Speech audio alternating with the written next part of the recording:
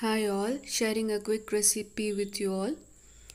Uh, we need two, uh, two to three overripe bananas, one cup all-purpose flour, half cup rice flour, quarter cup semolina, salt to taste,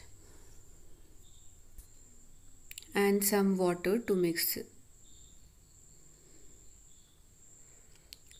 So what you have to do is uh, take a bowl and uh, put the banana into it and mash it nicely.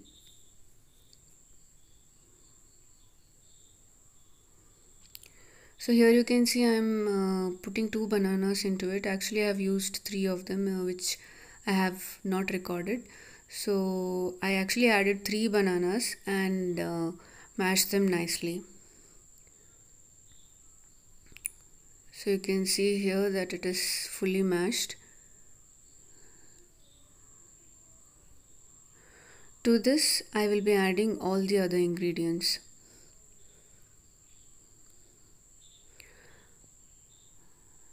All purpose flour or maida. This is rice flour. Semolina or rava. And salt to taste.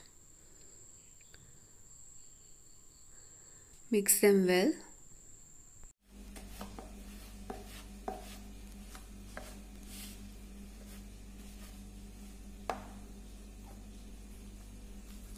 Now you need to add some water.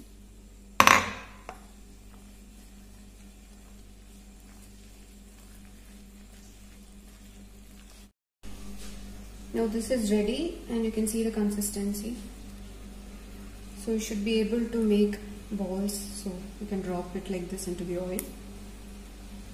And that's it. Now it's ready to fry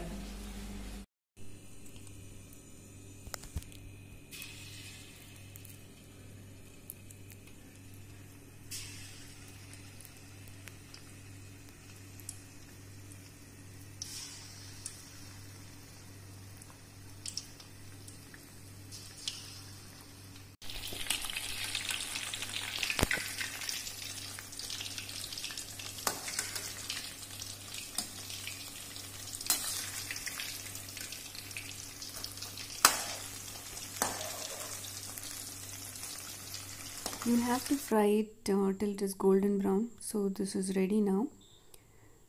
Now take it out of the oil.